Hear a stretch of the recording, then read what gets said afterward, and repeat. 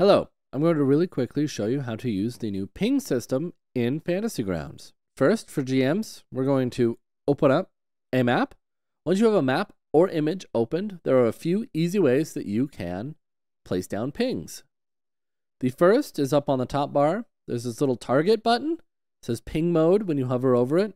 If you click on that and then click anywhere on the map, you will drop down a ping.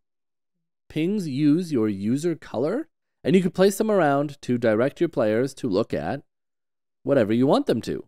A quick hotkey version of this is if you hold spacebar and double click anywhere on the map, it will do the same.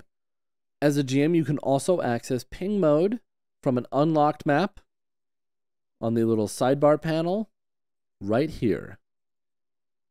It is the same as clicking the button in the top bar. From a player's perspective, this is going to be very similar to how we did it for GMs. Up on the top bar, there's the same ping mode icon. And you can click anywhere on the map to drop a ping. Like I said, it uses your user color.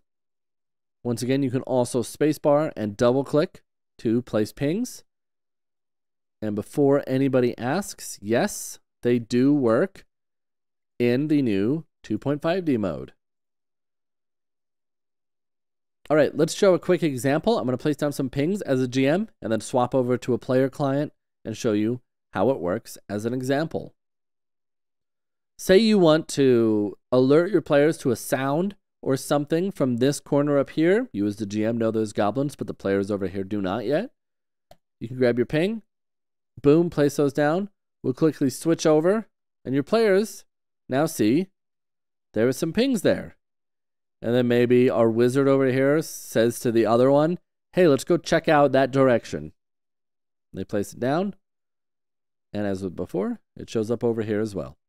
That's how you use pings in Fantasy Grounds. If you found this video helpful, remember to leave a like and also subscribe and ring the bell to stay up to date on all things Fantasy Grounds. If you want to learn more, you can visit fantasygrounds.com.